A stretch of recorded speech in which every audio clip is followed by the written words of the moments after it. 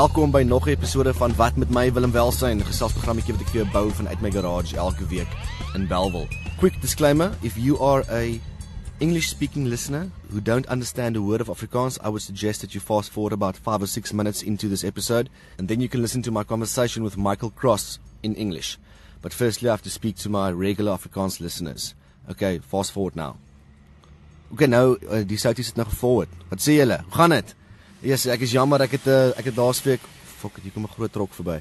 Ek sit in die kar. Ek sit in die kar in die parking lot by my werk want dis hoekom ek laasweek nie episode gepost het nie. Ek is so fucking besig. Ek het nie kans gehad om enigiets te doen nie en uh, ek is jammer, ek vra om verskoning. Ek het 'n week geskiep.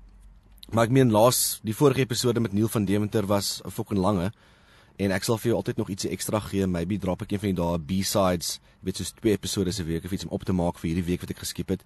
So ek vra om verskoning dat ek uh, so lanklaas met jou gepraat het. Maar baie dankie dat jy ingeskakel het vandag want ek het vir jou 'n baie lekker episode. Ek gesels met Michael Cross. Hy was al op die podcast. Hy was kom ons kyk gou so ek het notes gemaak. Ek sit in 'n parking lot voor my fucking werk. Dit is so weird. Ek voel so skyly. Ek voel soos 'n stout kind wat met myself praat in die parking lot by die werk. Hier loop iemand verby. Hulle sien ek sit met headphones op in 'n kar. Jy weet en hulle check wat die fuck doen ek. Ek het notes en alles. Maar okay, wie doen show vandag? Ons het vir Michael Cross op die show en hy is 'n dokumentêr filmmaker en ons gesels met hom vandag oor sy nuwe fliek The Fun's Not Over the James Phillips story. Uh dit gaan oor James Phillips aka Bernaldus Niemand wat gespeel het in uh, The Cherry Face Lurchers, Corporal Punishment, Illegal Gathering en hy was ook 'n baie belangrike ingredient in die destydse voelvry beweging. En Michael Cross, die ou wat hierdie dokumentêr gemaak het oor oor James Phillips, hy was al op die podcast gewees. Kom ons kyk gou hier wanneer op episode 72 saam met Jonathan Handley van die Radio Rats. En toe het hy kom gesels oor die dokumentêr wat hy gemaak het oor die Radio Rats. En daai dokumentêr se naam is Driving and Dying.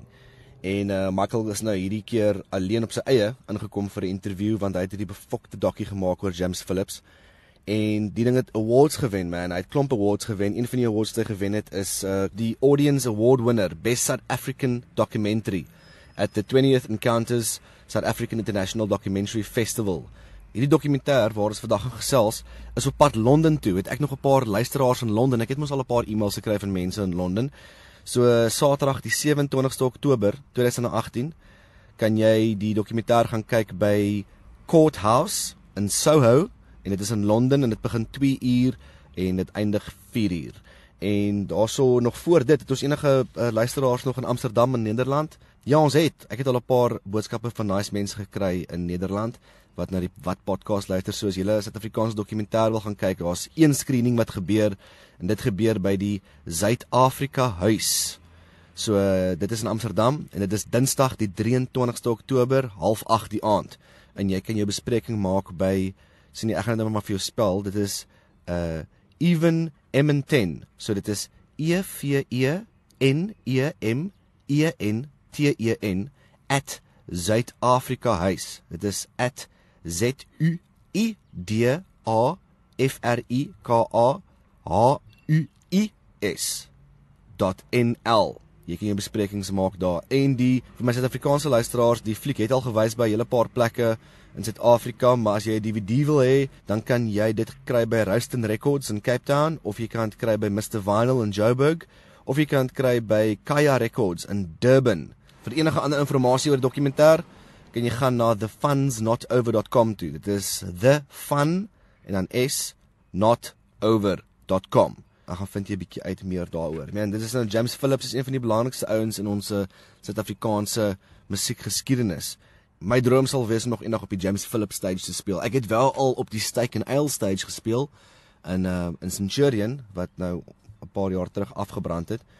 Uh maar destyds het ek op daai stage gespeel dan James Phillips, ons al 'n groot painting van hom so in die agtergrond, jy weet net agter die stage en dis nogals ek meen hierdie ou is fucking belangrik geweest. Baron is niemand. Hou my vas koperaal. Uh, I mean shot down nice songs Jesus. Okay. Die, en, ek het hierdie dokumentêr gelove en dit was baie cool met Michael Cross te gesels oor die dokumentêr en om te gesels oor sy vorige projekte. So jy gaan hierdie baie geniet. Ek praat in Engels. Ek hoop jy klink soos 'n poepel nie. Daar's nog iets wat ek vir jou moet vertel. Vandag is die 19de Oktober. Kersfees is om die draai en dit is altyd moeilik om vir jou pa of vir jou boetie of vir jou oom of vir jou oupa iets te koop wat fucking spiff is. So as jy iets kief wil bestel by my, dan gaan ek jou nou hierdie tip gee. Daar word 20 roosters gemaak. Stainless steel braairoosters en hulle lyk soos gitare. Ek noem hulle die Blitzkrieg braaikasters. So ek sien nou vir jou exclusively eerste, vir jy wat nou luister hierna. As jy een wil hê, nê, nee, dan stuur jy vir my 'n e-mail na williamwelfare@gmail.com toe. Dan betaal jy my 'n deposito toe wat die helfte is van wat die rooster kos en dan word jy gegarandeer dat jy een kry en sodra ek hom by my het en ek gee hom vir jou, dan betaal jy my die ander helfte. Maar daar word 20 gemaak, soos jy een wil hê en jy wil pre-order en prepay, dan kan jy nou die helfte betaal en as hy klaar is oor 'n maand, kan jy die ander helfte betaal en dan jy 'n fucking cool persent vir jou pa, oupa, oom, buddy, uh, broer, swaar. Ek meen, daar's nie baie, daar's sover is daar nog net 30 gemaak van hulle en daar word nou nog 20 gemaak, so special edition Christmas editions. Maar dan moet jy nou bestel. Ek praat van in die volgende dag of 2 of 3, want die mense uh, maak my fucking mal aan my op Facebook. Ek gee net vir jou first option. Stuur vir my 'n e-mail na williamwelfare@gmail.com toe en dan praat ons daar. OK, wat nou van gigs? Daar's nog 'n gig wat opkom. Wat my eie shows aanbetref, ons het nou daag gespeel in Bohemia saam met Benny, ons nuwe gitarist en ek en Kyle en Gurch, ons was 'n four piece band, ons het saam met die band Indica Black gespeel. Dit was 'n fucking lekker show. Dankie vir al die mense wat kom support het. Daar was 'n paar baie nice mense by die show. Ons dit was 'n goeie ene. Ons ons rook dit nogals met 'n fucking four piece band. Die songs klink legit. En jy kan daai four piece band sien wanneer die 24ste November maak vir jou besprekings by 'n uh, uh, Karoo Saloon. Maak sommer 'n fucking naweek af van. Klim jy in jou buddy in 'n kar en dan kom bly jy die Saterdag aand by Karoo Saloon op die Route 62. Jy kan akkommodasie daar bespreek, jy kan nie aan na slaap. Uh, dit is die 24ste November, is 'n Saterdag. Maak jy besprekings by 072 250 9055 as jy in Swellendam bly of jy bly in Berrydale of jy bly in Albertina of daar op die N2, ek meen hierdie is naby genoeg vir jou vir 'n lekker plattelandse jol. Of jy bly as jy bly die Smit bly, soos my hometown, ek weet jy of daar enige iemand is bly die Smit wat nog volg wat ek doen nie. maar kom fucking pull in, jy weet, sal ek wees om 'n paar ou connections te check by daai gig, die 24ste November 2018 by die Karoo Saloon op die Route 62. En dan die volgende dag, daai 25ste doen ons ook 'n open set vir Jan Blom. So akoestiek tipe vibe en Jan Blom speel die middag daar, die 25ste op die Sondag. So as jy 'n biker is of jy is 'n ou wat like van travel en van fucking rock and roll, dan skiem ek jy met inpool op die 62 daai naweek. Okay, dis dit van my kant af. Ehm um, ek wens ek kan jou alles vertel wat in my lewe gebeur het die afgelope 2 weke. Maar kan nie. Jy weet want jy weet daar's net party goed wat so fucking mal is. Maar ek jou dit sê, ek het kakhard gewerk by my day job. En dis nie net 'n day job dis 'n fucking karier. En ek doen kief shit en ek impress mense en ek doen my werk en dis hoekom ek so bietjie laat was met die podcast. So ek vra 'n verskoning daaroor. Okay, let's listen to my interview with Michael Cross, the documentary filmmaker who is currently in Amsterdam and then is going to London. Yeah, so here we go. An interview in English. I hope you enjoy it.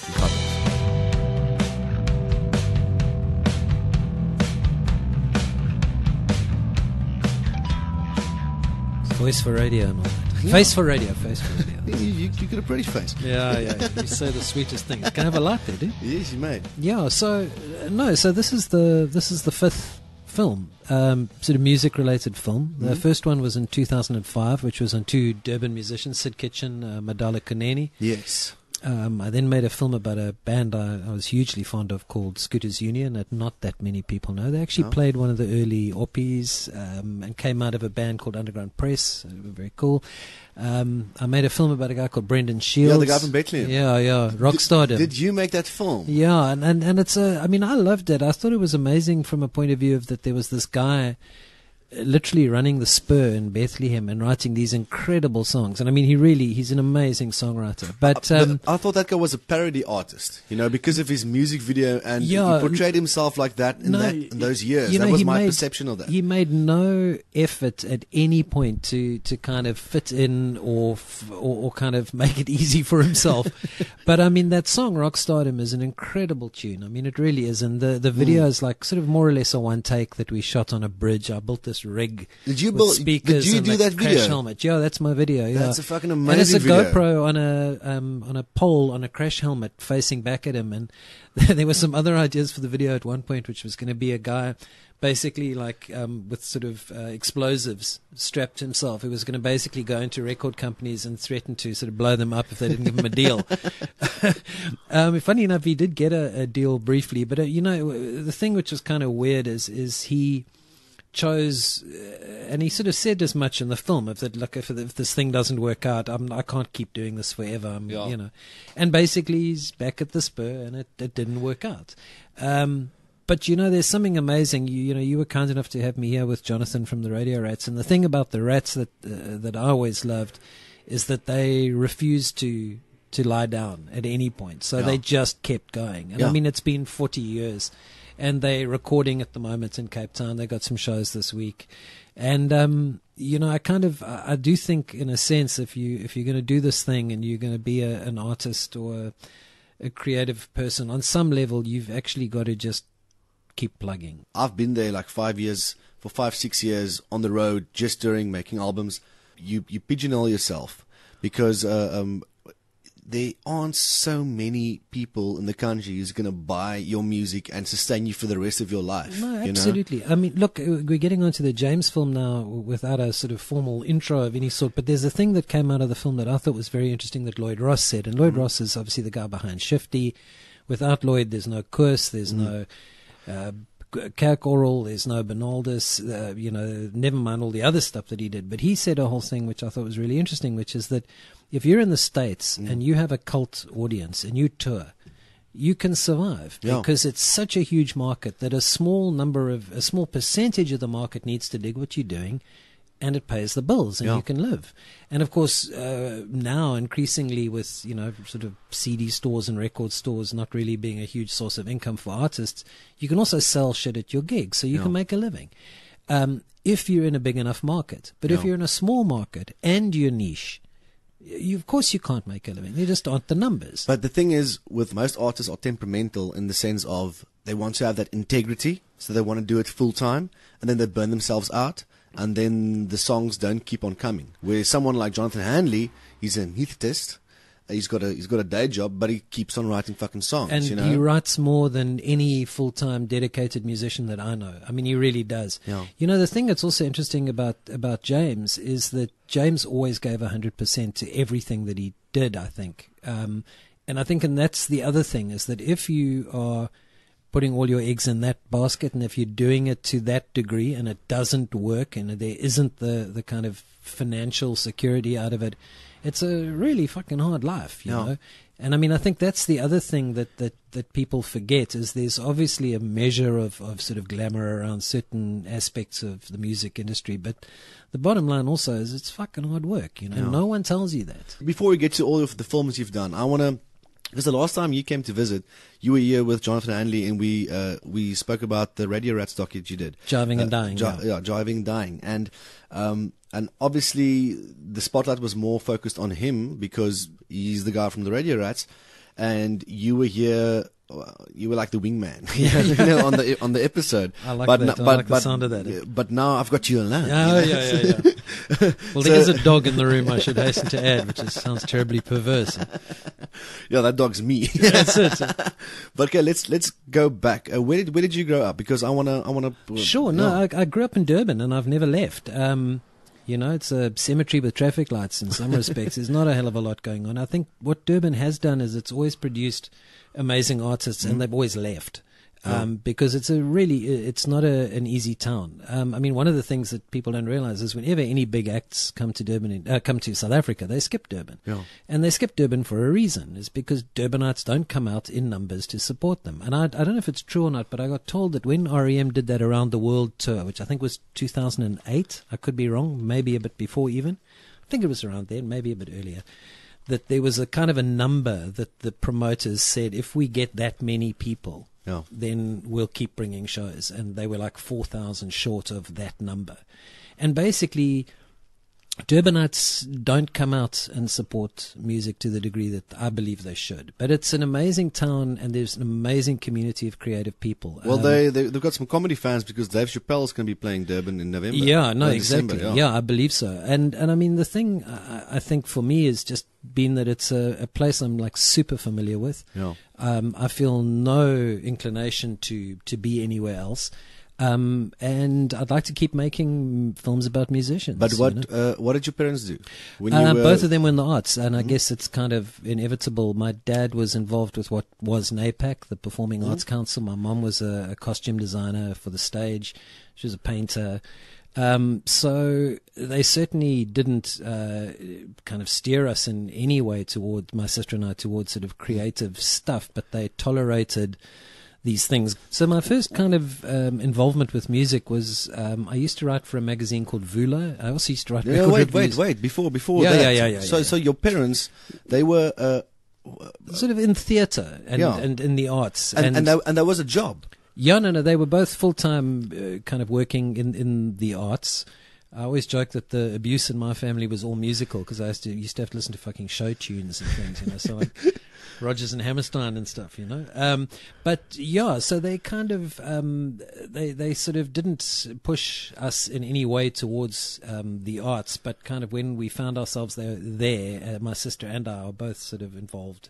They were enormously tolerant and But but I mean, supportive. did you go and see a lot of shows when you were a kid? Yeah, no shit. I, um, my dad was originally a publicist, so I literally, as a, a babe in arms, was sort of sitting in the back row while they were doing photo shoots and opera and stuff like that. Which, as I And- said, is and- probably why I have a block against opera. But anyhow, But what what do you remember of those days? Of, Um, of, of what in, what what did you see there that uh, that you, you still remember? That still left think- a mark. uh, funny enough, I, I remember certain shows, um, and quite often they were, were relatively small plays um, that were were amazing. Where I, I was way too young to be exposed to them in many respects, but they were really kind of things that struck a, a chord.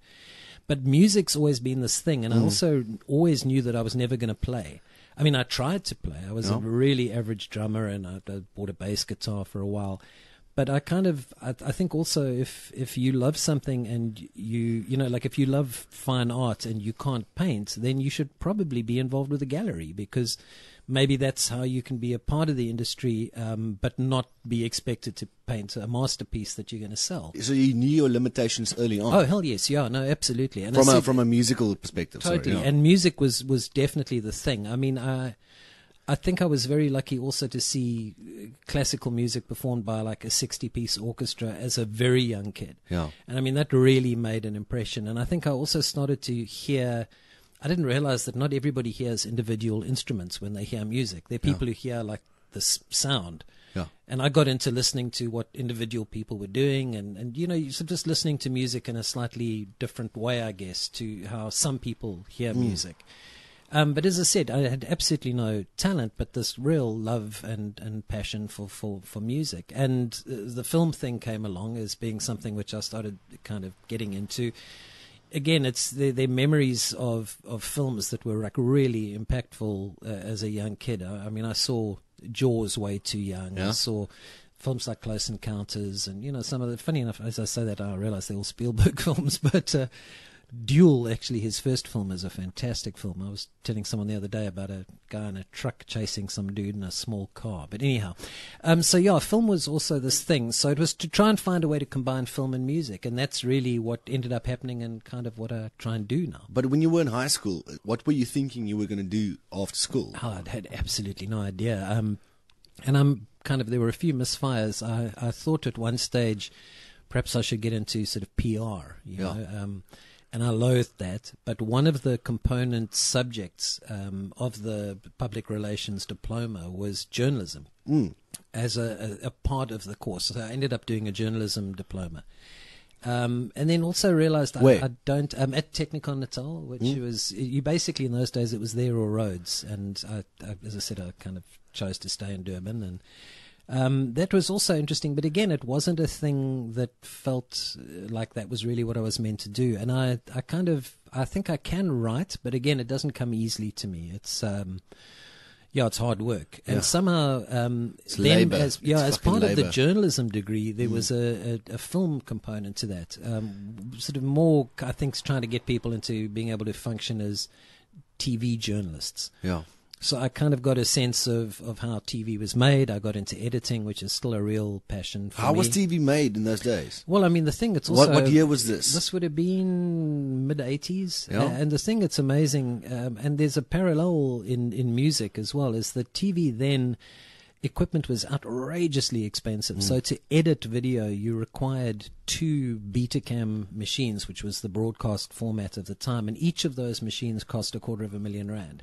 So you couldn't edit for broadcast without an investment of a minimum of half a million. So there was a suite you had to go to. Absolutely. And of course, you could never own that stuff because it was just too expensive. Yeah. So, in the same way as music's gone from being something you had to go to a studio to make, you can now, you know, buy a Mac and get a sound card and you're in the game. Yeah.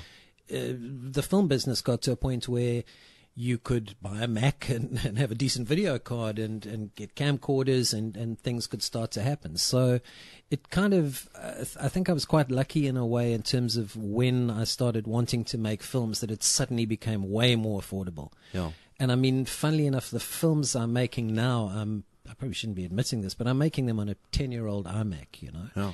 um, that cost me 20 grand then.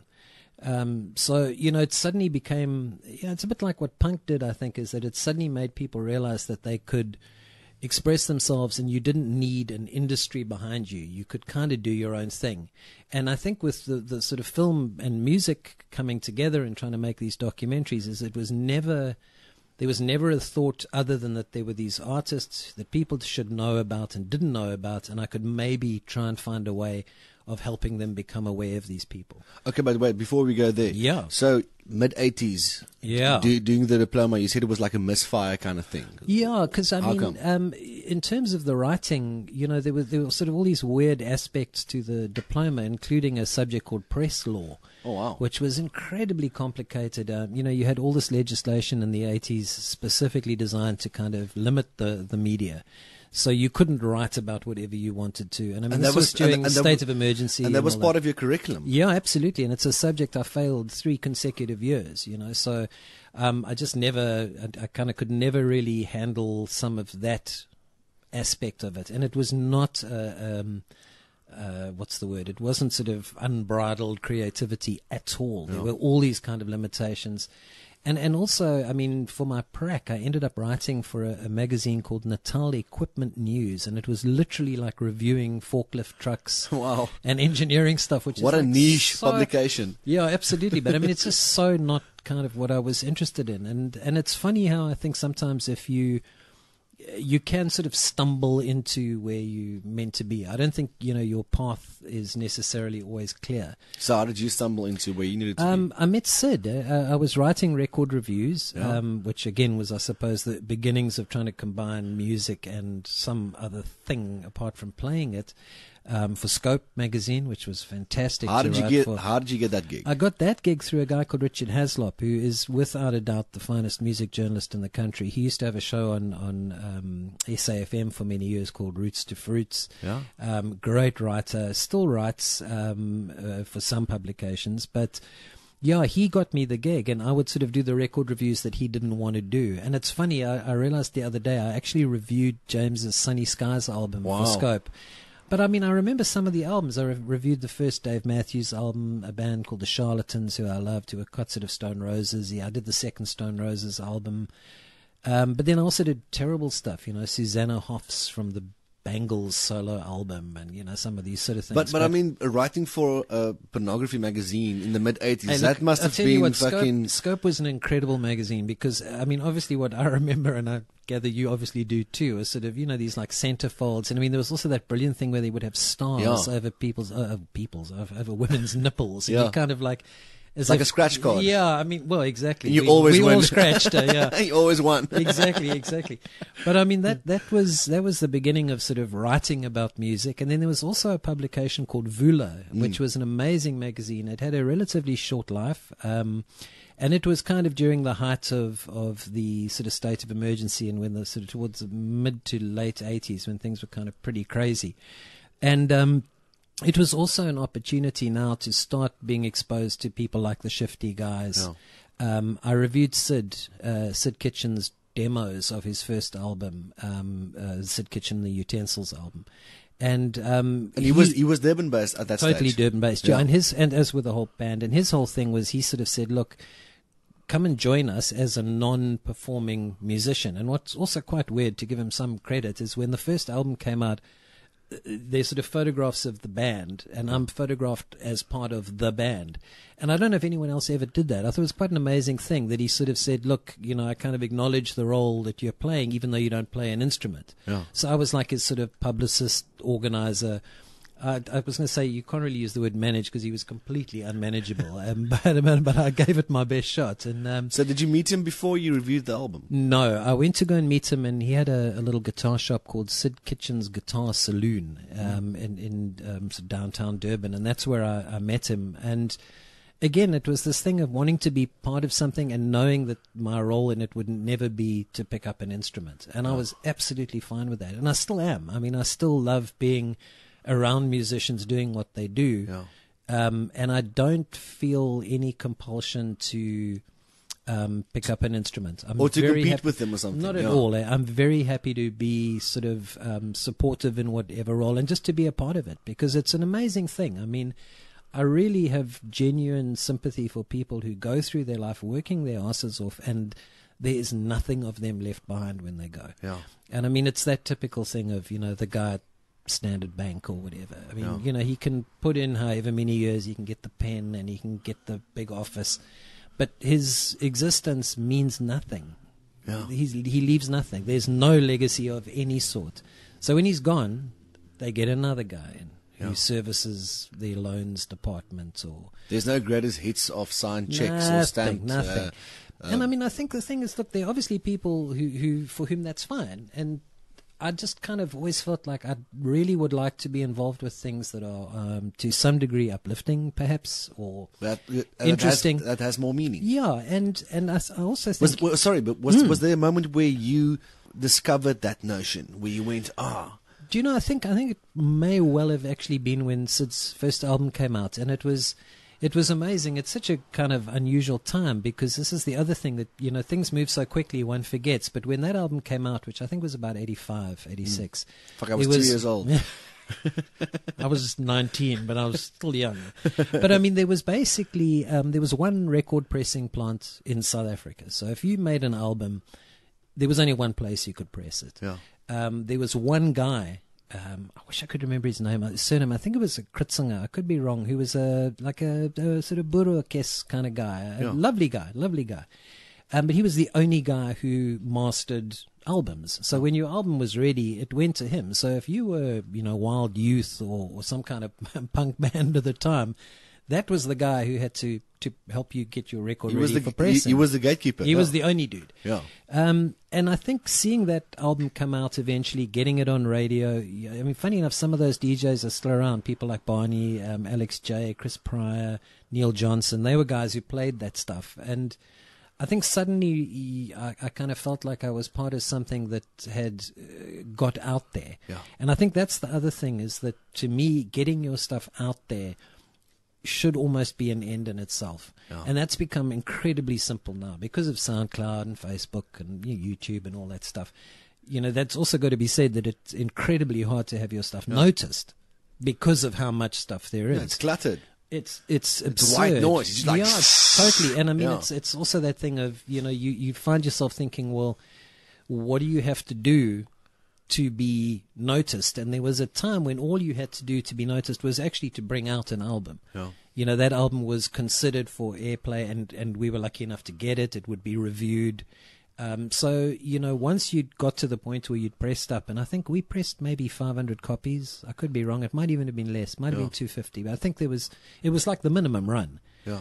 But just that, it was like, okay, I'm a part of this thing that didn't exist, that does now, and that came to mean a lot to some people. And that's the other thing of kind of doing stuff that means something. It doesn't necessarily matter how how many people it means something to. What matters is that it means a lot to some people. Yeah. Um, and I think, I mean, I think that should be true of virtually any artist. You know, if you create a work and it's not, you know, globally embraced, but it blows a few people away and means something to them, that's that's that's good enough. Yeah. You know? Did you finish that diploma? No, no, no, no. I bailed. Eh? Um, I, they, it sort of got to a point also where I suddenly was doing what I wanted to do. So I switched from the, the PR to journalism, and then from journalism to video Yeah. technology. And then I got offered a, a video job as an editor at a, a company called the Video Lab, who were the big Yeah. kind of company. They had Joburg, Cape Town, and Durban branches at that point. And it kind of seemed crazy to carry on studying when I just landed what to me at that point was like the dream job. You know, why would you go back to lectures you know, when Well- you can edit? In, were you in that time frame where you had to go do din- dienstplig? Oh no, dude! I was very clever. Eh? I dodged. I really dodged. Uh, what I did, which um, um, if it ever came back, I would kind of probably do very well as a consultant on how to avoid having to go.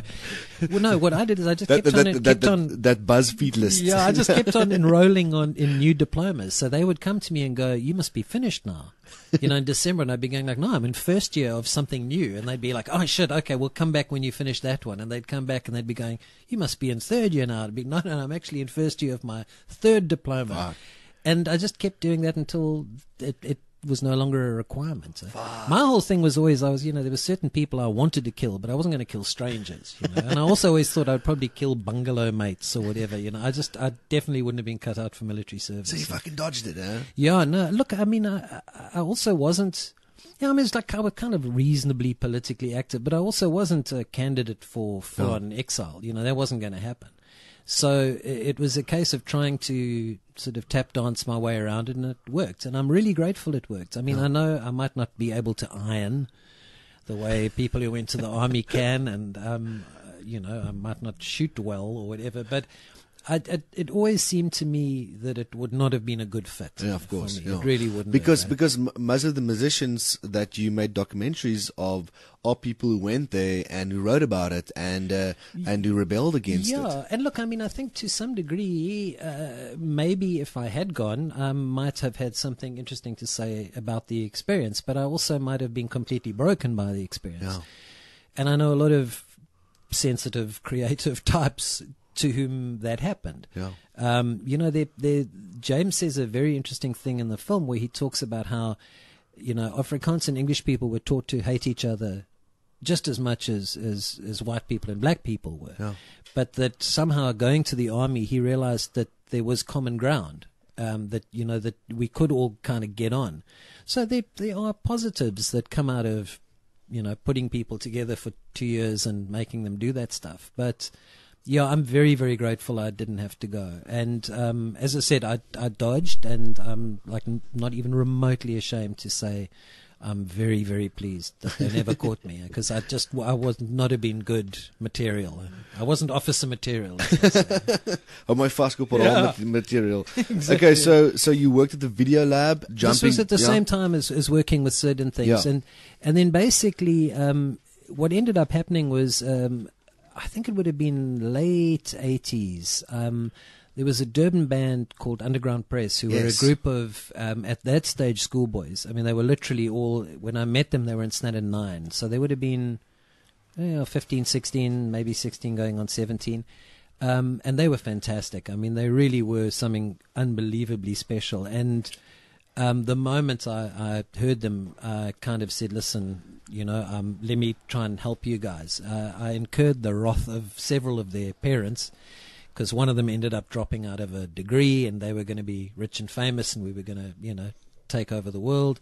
And we did an album, we recorded at Shifty, um, you know, and it was it was an amazing time. And yeah, I, there's always been there's obviously a hole in my life that I have to fill with this stuff because if I look back, there was never a time when I didn't have a, a pet project. Yeah. Um, you know, and it literally, you know, went through these bands, and, and Brendan was no different. I heard Brendan Shields' stuff, and I thought, shit, this guy's amazing. But but you know what what's what interesting about you is that while you're talking, I'm going, fuck, I've been part of one of your pet projects. yeah, dude, you were on Richtingbofok. And Ja, I mean- and which, look, which people, is G- people Gary still, people still come to me. That I've, I've got to tell you, and it's this is absolutely honest. That there are, I would say, once every kind of three or four months, somebody goes to me.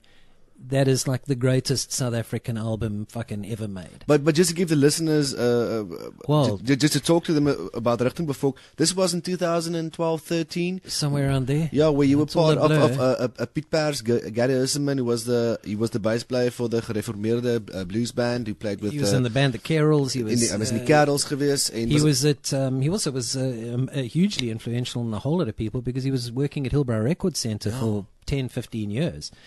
Um, and the thing with Gary was, I met him in Joburg. I'm just not hundred percent sure. Actually, I lie. I'd, I've known him for years. Okay, and then I was in Joburg and I. I realized I hadn't heard from him from a while, and I sort of gave him a call, and he was going through like a rough patch and and everything. And I said to him, "But are you still writing?" And he said, "Shit, yeah, you know, I got loads of songs." So I said, "Well, send me some of the demos. I'd love to hear them." No big plans, nothing. He said ninety songs, fuck. Um, and I would say half of them were were absolutely fantastic. Um, the other half were kind of weird as fuck, but the the other half were were just great songs. And Gary's a great songwriter. And I thought, shit, you know, maybe we can do something. But you know, he was uh, not in a position where he he was living kind of pretty rough. Um, so um, yeah, so I gave Gary a call. Um, and he uh, said that he had all this material and he sent it to, to me and I heard it and so, so much of it was so great and I thought shit we should really try and do something but I mean at that point it, I wasn't in a position to fund it in any way But you, Um, you did it so smartly because I remember I was sitting at, at the Rolling Stone offices working and I got a message from you, never heard of you, and you say, okay, cool, um, I'm making an album for Gary, uh, here's the track. Uh, if you want to record vocals, go and record vocals. And, and I took my, this, these fucking mics, this podcast mics. I was living with my, with my fucking mother-in-law. and, and, I, and, and I recorded the track in the dressing room and in her dressing room. I, I, but because it, it was like sound booth and I was like on this podcast equipment. I, I just got it, you know, and that's how I recorded th- that song. But look, I must tell you what was amazing to me about that was there are 40 musicians Mm. on that album, and everybody's there. Francois, Arno, um, I mean, you Albert name Frost. it. Yeah, Albert Frost, Chris Letcher. These amazing people are, are on the record. And the whole thing I also realized, and again, you know, giving away s- secrets here, but I knew I couldn't ask any one person to do all of it. There was Yeah. no way. It would be asking too much of anyone. Yeah. And frankly, too much of anyone, even with, with wadges of cash.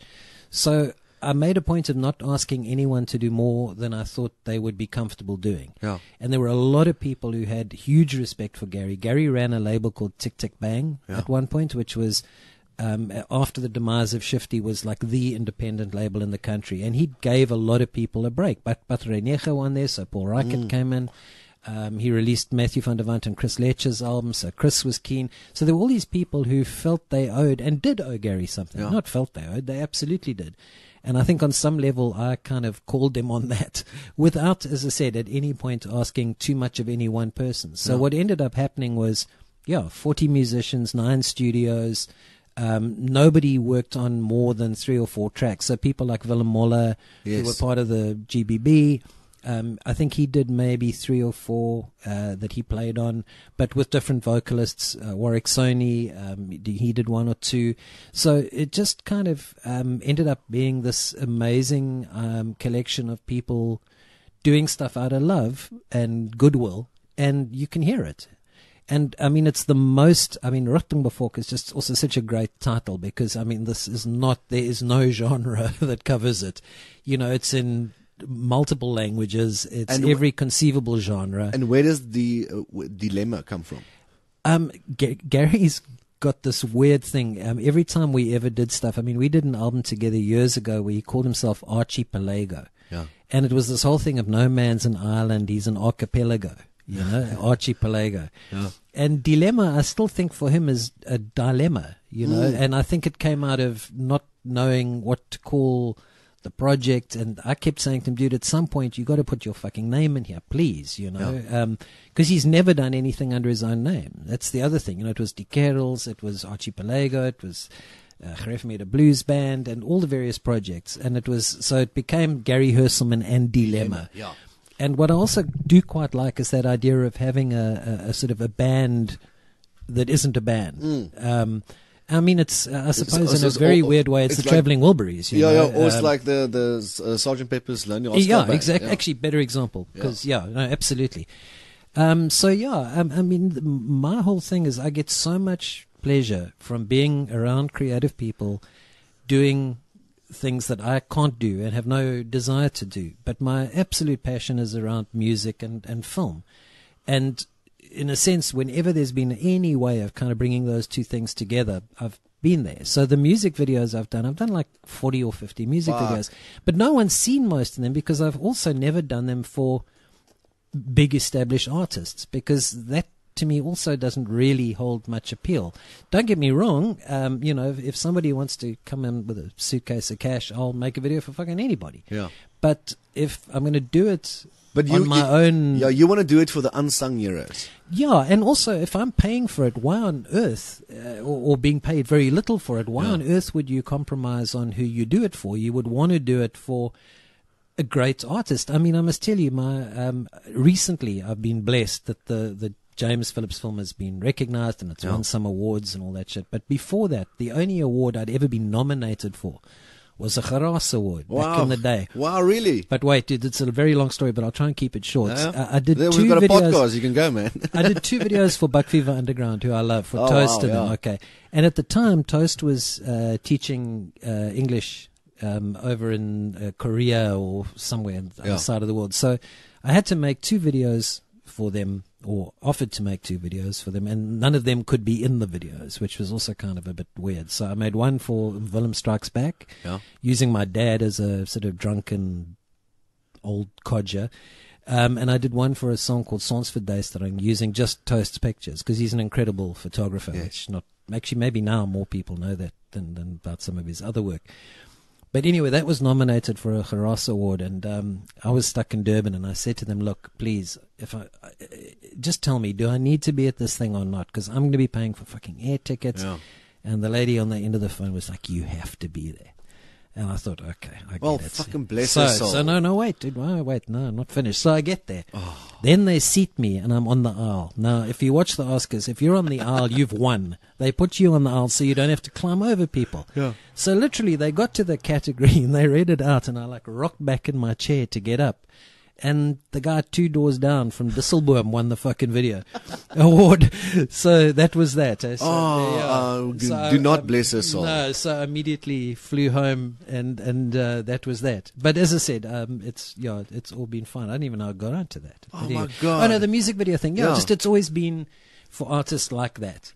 You go, You know, go- artists I find interesting who who aren't getting the exposure they deserve. Maybe I can help to some degree. You know? I I just want to move through the timeline. Okay, Mm. so so let, us go to the nineties, early nineties. So you you you traveling with uh, uh with Sid Uh, Kitchen, still with Sid, you hang yeah. with them, and uh, you you you hanged with uh, Underground um, Press was still going. Press, yeah. um, they sort of morphed into a band called Scooters Union, who were fantastic, who I was a huge fan of.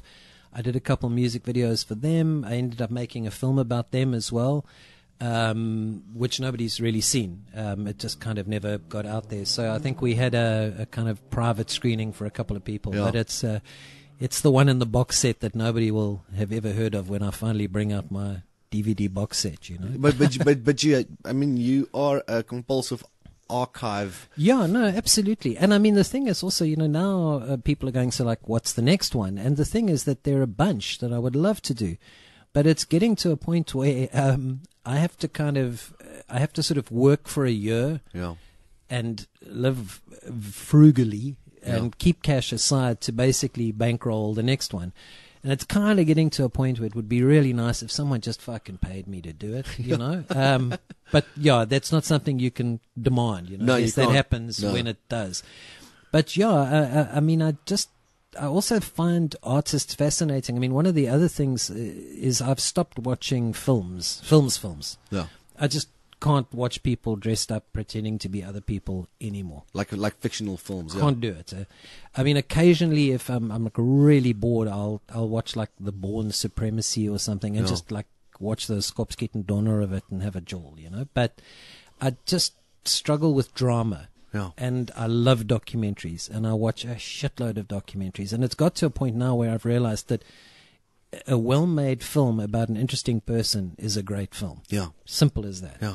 So if you say to me, um, funny enough, Jonathan mentioned a thing to me. They were playing up at a place called the Green Lantern up in uh, near Harrismith, Yeah. uh, Van little hotel there. They did a show. There was a guy in the audience. He was a bank robber. In the 60s, they robbed a bank. 250 grand they got away with then in the 60s. You can imagine how much money that was. And he was in the crowd. He was in the crowd and in the bar afterwards. There's a donkey there as well in the bar, but that's another story, I guess. And anyway, so he started telling Jonathan some of his story. And again, like to me, immediately, my immediate reaction is like, that's a fucking film right there. That's a docu right this there. guy, you go interview him in the bar with the donkey, telling you about their inside man during the robbery and how they got the 250 grand and then who turned state.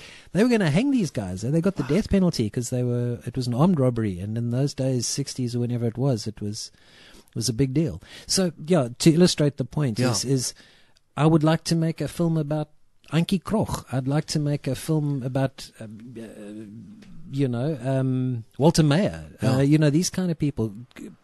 Anyone who's um, an artist, I find inherently interesting. Some you- of them, when you get a little closer, you realize there's nobody home. Um, there are two very prominent South African musicians who shall remain nameless, Yeah, I know. who are I- interviewed yeah. for the, the James Phillips film and who are not in the film because they were Ah, okay. dull. And I won't name them, but they were dull. They had nothing interesting to say, and, and I don't regret talking to them, but they just they didn't make it. Yeah. So it's not a given that anyone you talk to happens to be a, a creative person is going to be compelling television.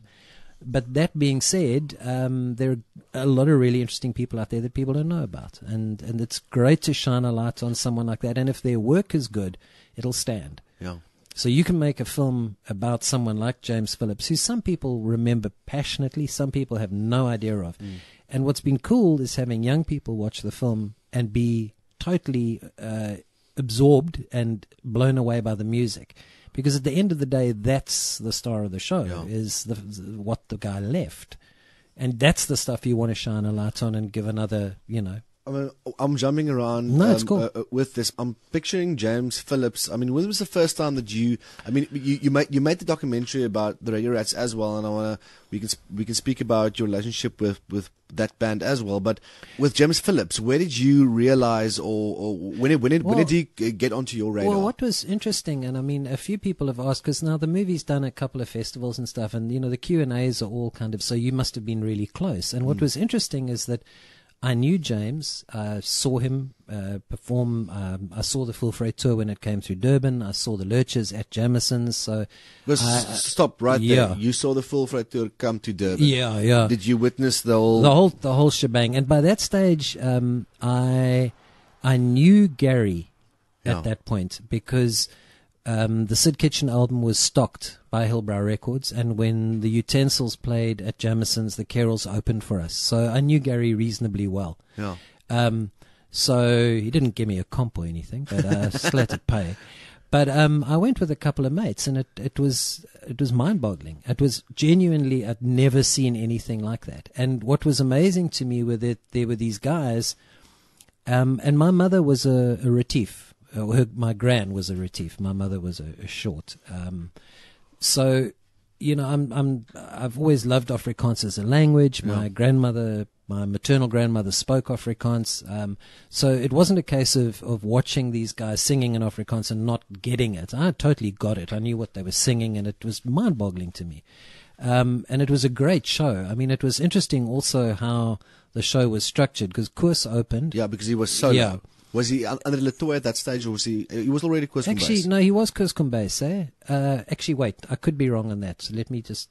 Yeah, I think he was Koos already then. But from the Hopkins book, I remember you were. Yeah. It was like him but solo. he was, yeah, no, it was definitely him solo. And then obviously um, James was there with the Swart Gevaar, so it was Yeah. Bernoldus Niemand and his Swart Gevaar, and Gary was part of the sort of headline act. So Gary didn't play with with James, yeah.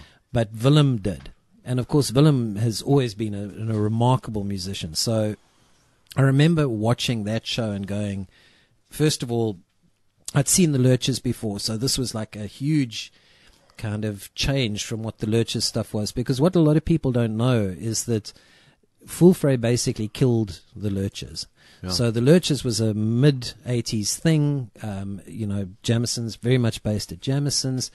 Um, and then when the East Afrikaanse rock concert happened, which I think is 88, I could be wrong, um, very soon after that, Voëlvry took off. And basically the Lurchers were put to bed, and it was now Bernoldus in die Swart Gevaar. So um, I was familiar with James then. I also booked James and the Lurchers to play in Durban. I was Wow. involved with a little club there for a few months, um, booking acts. Um, so, and I remember, funny enough, booking him also. I was, I was young, man. I was like, yeah, maybe 19, 20. And I remember him not being hugely impressed with this lighty, you know, telling him what time to be at the venue and, you know, sound check will be at four and this kind of stuff. And I must have looked like a precocious little twat, you know. And um, so James was never hugely friendly to me or, Yeah. or anything. Um, but I had absolutely no doubt about just how great he was. And and I mean, I think that's the other thing is it's quite cool making the film with where there is a history, but that that history doesn't cloud anything Of course, yeah. because I think it would be very difficult. Funny enough, a guy made a film about Sid, which I didn't particularly like, and a few people have said, "But shit, you know, you should have made the Sid film. You know, Yeah. you had this."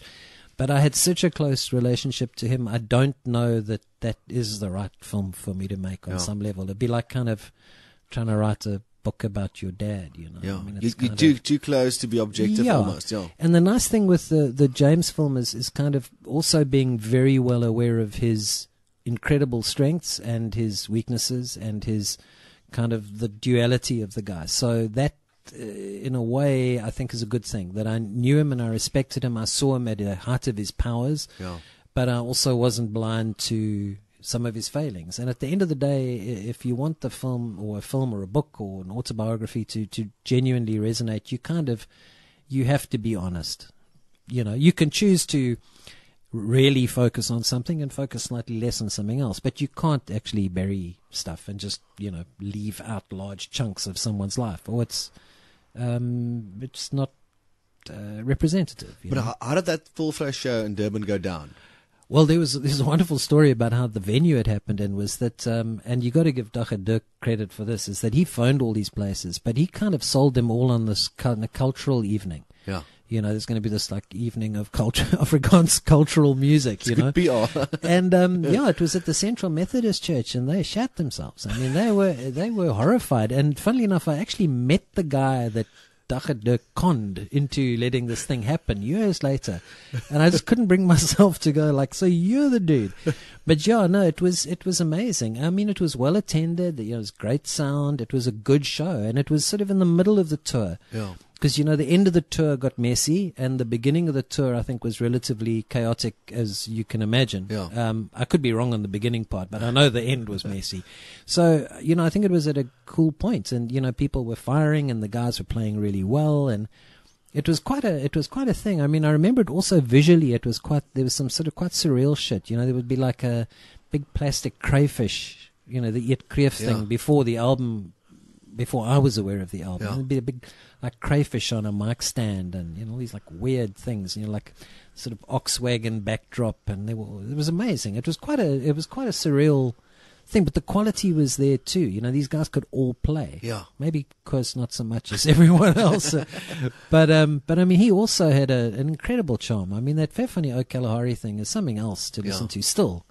I mean, and- it's and amazingly they- intimate they- as well. They, you they, they kept in the sniffles. you Yes, know, yeah, yeah, Because he was he was sick. You Yeah, know, yeah. He, he had the flu. Yeah. Uh, and and uh, okay, so That's right. It's so- not Sikta. Yeah. Yeah, but- and, but it's amazing that you saw that, you know, because I mean, there's there's only one or two sources who wrote about that, and there's a lot and there's a lot of internal politics about what really happened Yeah. went down there. But for making the film, I mean, you were aware that James Phillips was doing something totally different Yeah. from which he came from. You know, I Uh, do. I did also hear the Bernoldus Niemand album when it came out, and I remember um, I had a friend who who had it and, and who played it to me, and I mean I remember at the time being quite like uh, confused by the the fact that every song is essentially a different genre. Yeah, Um, again the mixing up of the language um, because reggae vibes is cool. There's obviously some English in there as well, and, And, and you, you know what happened on that song? Um, that was the first tweet that Rolling Stones at Africa magazine tweeted.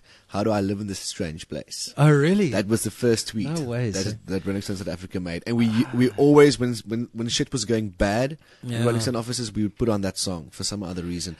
Why didn't someone fucking make this film?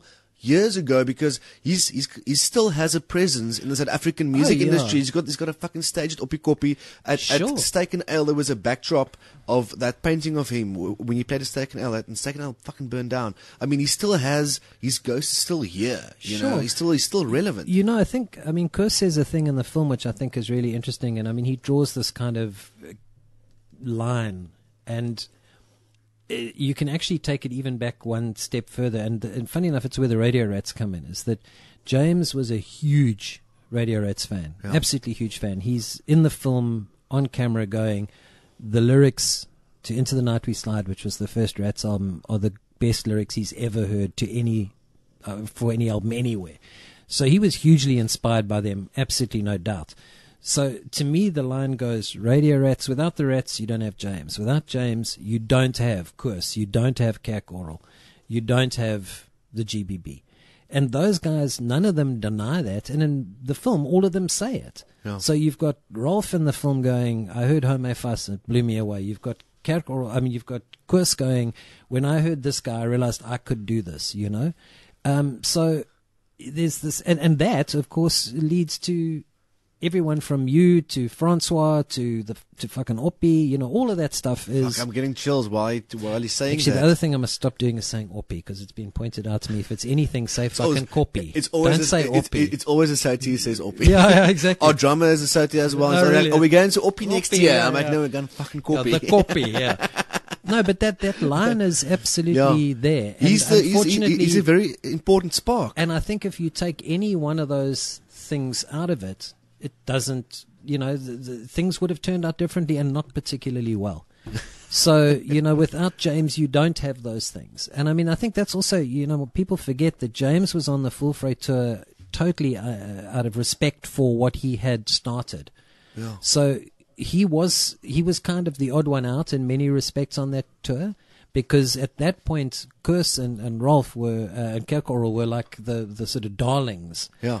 Um, and very quickly got to a point where there was huge admiration and respect and, and the crowds were there to see them the crowds weren't there to see Bernoldus Yeah. and I mean that might not be a cool thing to um, for people to hear, but it's the truth. Is that he was there because everybody else knew that without him the, the whole thing wouldn't exist. Yeah, and the thing is, that that was one of his musical phases. Oh yeah, and I mean that's the other thing. You know, um, we we interviewed Jack Parrow for the film, and shit, he, you know, his interview was actually fucking great. Um, I um, was quite awed at just how he's a smart fella. He really is. Jack Parrow's no fool. And he pointed out an interesting thing where he kind of basically said, you know, if James had just kept on being Bernoldus, he would have probably been fine. But he didn't want to stay that guy. It Yeah. was a it was a project for him. It was a thing. It was a concept album uh, in every respect. It's You know, like Ziggy just- Stardust. You know, you, you can't stay Ziggy Stardust forever. Look, I mean, Bowie killed off five different characters. Mm. Really, you, know, you got the Thin White Duke. You got all these things. You know, there's there's these various phases, and and of course, if you're hugely successful, nobody questions that.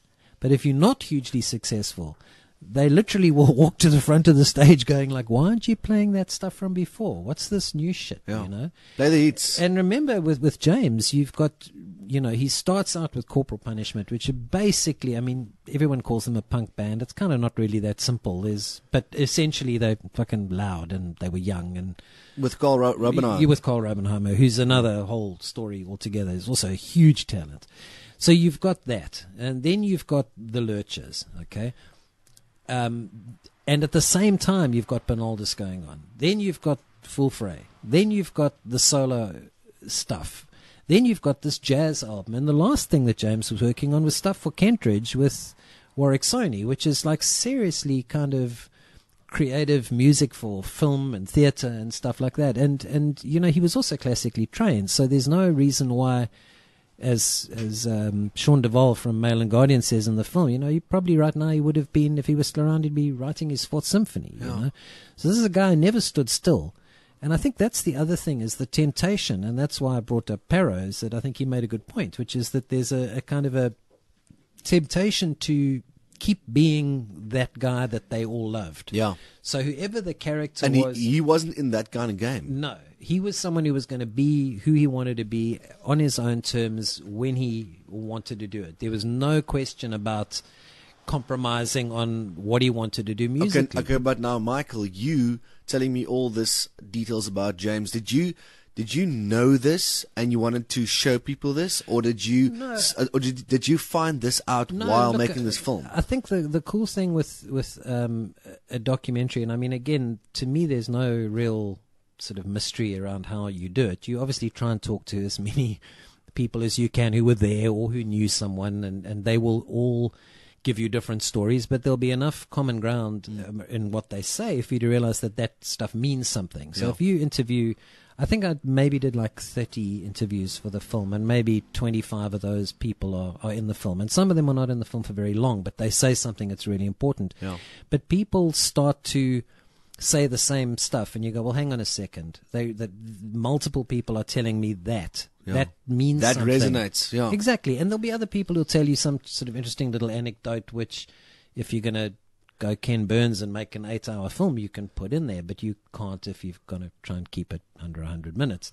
So um, I, I think what I knew was that there was this amazing body of work. Look, Shot Down is still, Fuck, it's a beautiful it's song. probably the best rock song r- ever written by a South African artist in my mind. And I'm sorry, it knocks weeping into a cocked hat. It really does. Um, I mean, I think it's. I really do think that. Um, so you know, it's kind of not hard to go. Well, this is a guy who's who's written some great songs, and then I thought, well, hang on, let me re-examine the the body of work, and I realized how his early stuff I didn't know as well as I should, and I went back and listened to the corporal punishment stuff, listened to Illegal Gathering, also with Carl, and it, there's some amazing material there. I mean, the Willie Smith thing is is, is obviously from the Illegal Gathering album. Uh, Home Fuss is originally an Illegal Gathering tune. It's on the Illegal Gathering cassette. So it just was abundantly clear that this guy had this incredible body of work. So you go, okay, who can I talk to? You find enough people to talk about it, and you get the truth of who that person is. And you then get to choose what you tell people and what you don't. So there wasn't a narrative, and I must just, Yeah. that's the other thing. I don't do narration. There's no narration Yeah. in any of my films. I fucking hate it. So same with the Rats film, Rockstardom, all of those. There's no voice that It's comes just in talking heads, yeah. It's them talking and as much as possible the person themselves. And the Because music, for me, yeah. yeah. and as much music as you can cram in. I think there are 52 pieces of music in the James Phillips What I what I liked about the about the documentary was uh, the fact that you would that you would give the text on the lyrics so that you can read the lyrics. Yeah, I think sometimes it's. I think it's important. I mean, it's not obviously not something um, that you can or necessarily should always do. But No, I but- think no, but- if but- you do it in certain yeah. places, it, it kind of reminds you that it's not just about the song. I mean, what he's actually saying is so powerful and so important.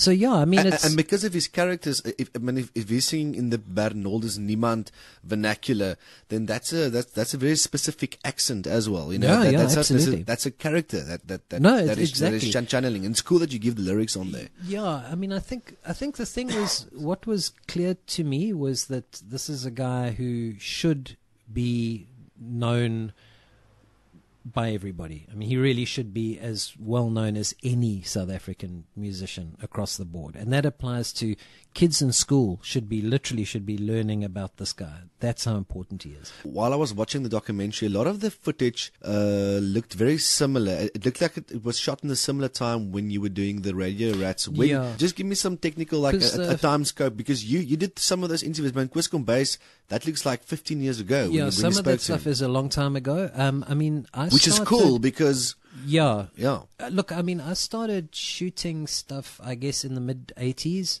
So, for example, with the Radio Rats film, the first bit of video in that film that I actually shot, I shot in 91, which was a live gig of theirs. So, I used to joke about the Radio Rats film, and it go, you know, it was 25 years in the making because technically it was, you know, from the first shot to the film actually coming out in You, you, 2016. you, you can close that door if you cold. No, huh? no, no. Did I just um, so yeah? Um, I, I used to shoot a lot of stuff, and in those days I was shooting on a, a VHS camcorder. Yeah. So I'd literally take a full size VHS tape, um, and I mean the quality was dreadful. But the the thing is also I, I really love good archive, and it's Yeah. really hard to find. But if you get it right, it absolutely captures an, an era, and and I think that's also one of the areas where it would be nice one day to have kind of proper time and money and things to do these things well. Yeah. I mean, the other thing that struck me also is is there's not a huge amount of footage of some of these people. Precisely. So you know, if you go and make a film, let's say about uh, Perro or about Francois or whatever, you know, Francois's first gig was shot by his parents as a seven-year-old, you know, singing in a school play or something. So just because of the time frame, everybody had cameras. If you make a film about an artist who's kind of coming out now, you're going to have no limit in terms of access to material. Yeah. I bet you if you would interview Kombuis now, you would say probably something totally different Completely. That, that he would have said Yeah. 15 years ago. And I mean, it was also interesting because with some of the interviews, um, there was this sort of uh, people were emotional. Yeah. Um, But I had this approach to it, which is like again really obvious. So this is no state secret. But but but, but by being chronological, you were never starting your interview going, "Geez, you must really miss the dude," you know, or uh, how how did you feel when he died? Stuff Yeah. you know you've gone through every stage of his career where those people were a part of it and you've ended up in that place so when the emotion is there it's it's genuine and when you're talking about the kind of good old days or, or, or reminiscing about the early stage of his career that is not clouded by it must have been really cuck when Yeah. he died so people can kind of talk in a in a different way and be quite open I must tell you also the one thing about the film that I'm really grateful about is is his family's support yeah. because his mom came to see the Radio Rats film in Joburg, and she actually was one of the prime movers where she was going, you know, thank you so much for reminding people about Jamie. Um, Oh, and sure, all of that, man. and um, and I mean, she's been my lucky charm. eh? She came to the premiere in Joburg, Cape Town, Durban. She came to Oppi to watch the film. To she came to oh god, yes, sorry, yeah, yeah, shit.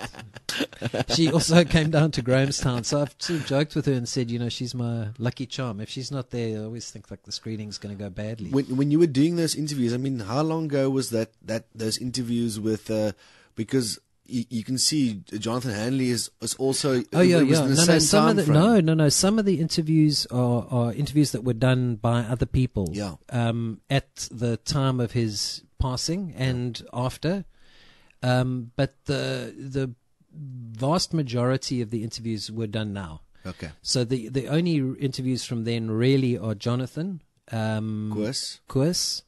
there was a, was a Kerkorrel interview. Yeah, there's a Kerkorrel thing from the concert uh, after he died. Yeah. And you know the thing is also there's a there's a wealth of material that is kind of relevant but not necessarily um, that you can't use because again there's this whole thing of trying to make it manageable.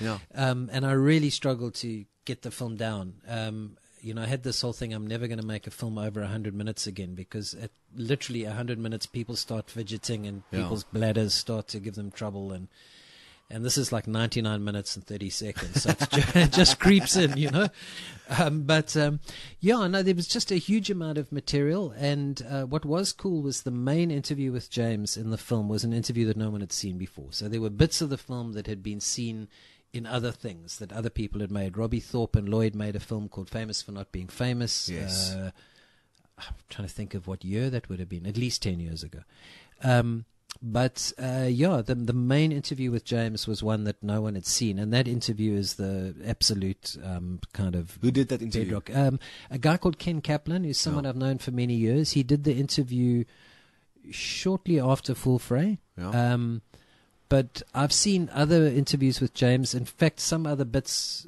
uh, of James weren't used in the film because of how good that interview was. yeah. So that really is the one where he thoroughly explores the Bernoldus thing. He talks about the difficulty of being on the Voëlvry tour, but Yeah. it not being where his heart really was in many respects, in terms of he had other music going on.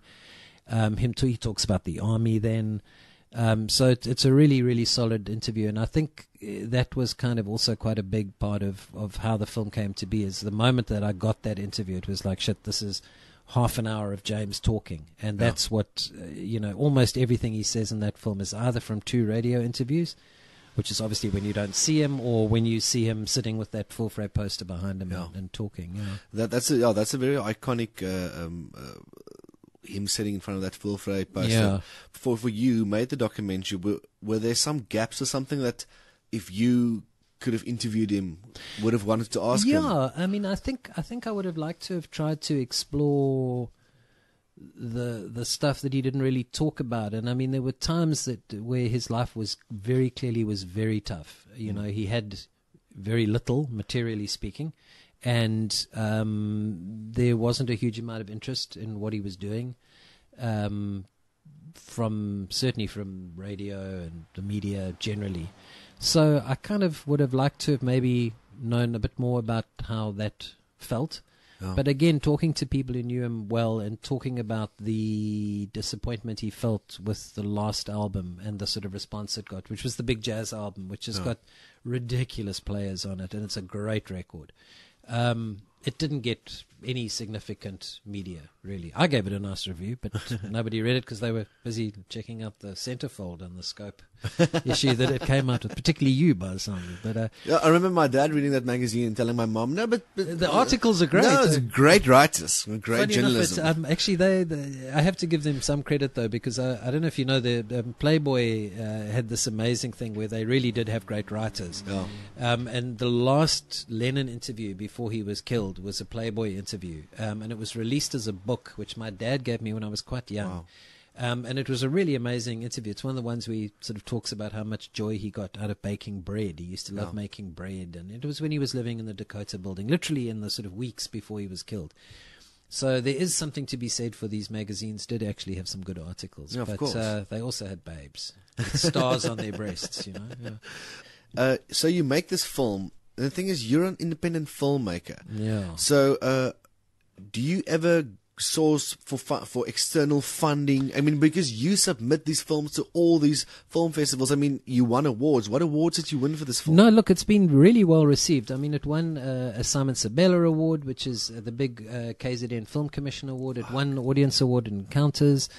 It, it's been doing really well, um, you know, and people have been amazing. It, it recently won a, a, a, an award of Best in Fest for a, a music film festival, which is secretly like the the award that kind of matters the most because it's just music documentaries, which, as I said, is my kind of passion. I watch a shitload of them as well. So it was like I'd seen half the other films and thought, shit, there's some stiff competition. But yeah, um, you know, I, I heard a thing about Scorsese years ago that I thought was really amazing, where he basically says he does one for the studios and one for himself. Ah, yeah. So basically, he will make some huge film with a massive budget for Miramax or the late Miramax or whatever, and then he'll make you know the That- Terminal with Tom Hanks as Yeah. the dude in an airport. You know, the- Oil maker that uh, George Harrison portrait. yeah, yeah, Fuck, yeah, yeah, yeah, absolutely. And I mean, uh, and it's a great film. Yeah. So I kind of um, the comparisons in there. Trust me. Um, but yeah, I thought there was something amazing about that. Of kind of, you know, get people to pay you to do work you don't necessarily desperately No. want to do to pay the bills, and then for God's sake, take some of that money and put it into the project that no one's given you money to make. And my hope still is that eventually um, I will get funding upfront to make a film based on the success of the previous one. Yeah.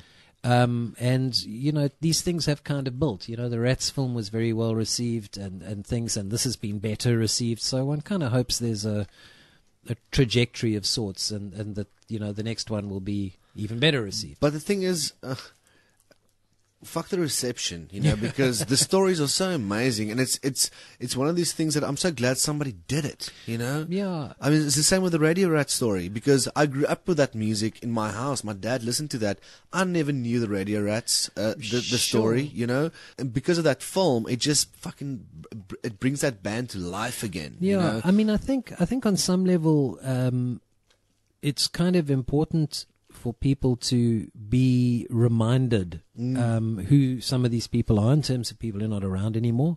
And in the case of, of, of new artists uh, or, or sort of relatively recent artists, of getting to understand something beyond what you see. Because if you think about it, um, even in the days of vinyl, you were getting a hell of a lot more information about an artist. As much as the internet's there and all that stuff, if you bought a, a, a an album, you know, let's say you bought, you know, one of the Zepp albums or whatever, there was such a rich kind of, you, you know, you would open it, you'd smell the bloody thing. You would open it up, you'd have this album art that was the size, you know, 12 inches across, this big thing. You yeah, exactly. You, you would you would have the liner even notes, yeah. even the C, uh, even a CD.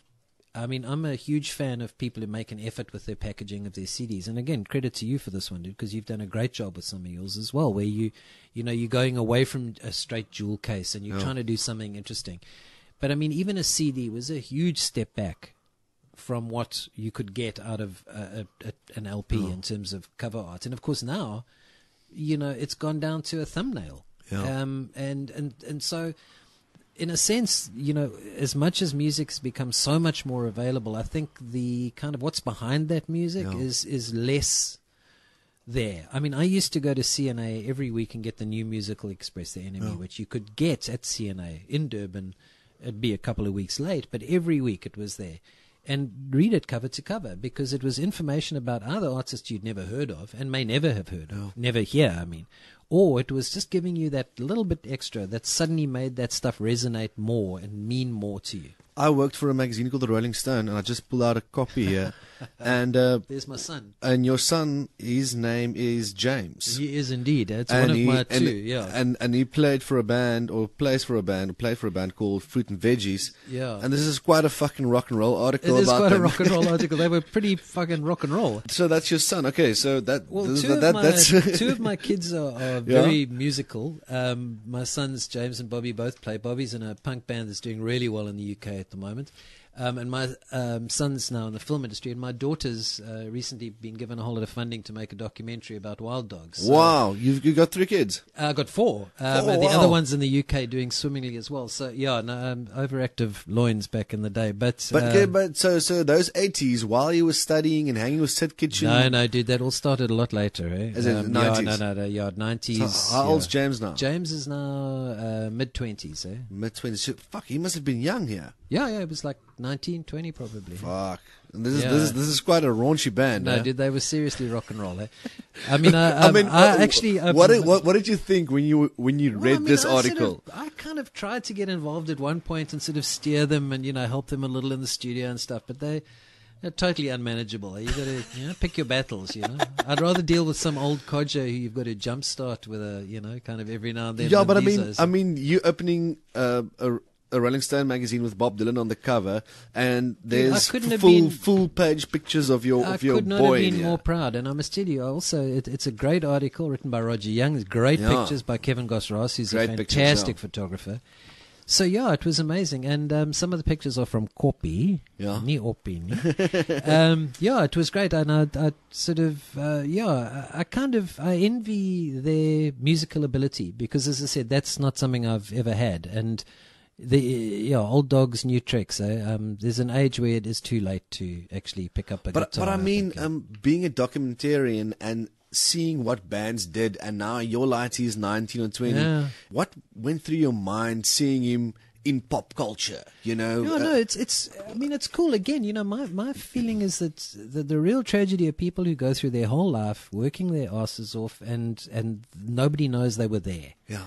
And at the end of the day, I mean, James is on the Ruchtenbufok album on one of the tracks with his band called the Trees. Yeah. You know, so it's it's that kind of thing of it's it's really cool to see people leave something behind, and I think that's so important. If you are totally, if you have no interest in that, that's also cool. Yeah. But I think the real frustration is that there are people who wish they could do that and just never kind of get it together. Yeah. If you want to paint, you should fucking paint. And maybe somebody will like that painting enough that they might not even pay you for it, but they might put it on their wall. And that's cool. You know, if you've got a story to tell, you should write it. Um, yeah, I just I think I think everybody's kind of got something to say, and we usually get that shit beaten out of you pretty young. Um, Yeah. I used to paint when I was a kid, and I loved it. Uh, my mom was a, a really good painter, and we used to paint together. And I'm talking primary school, and I got to high school, and they basically went, "Your marks are way too good for you to be painting."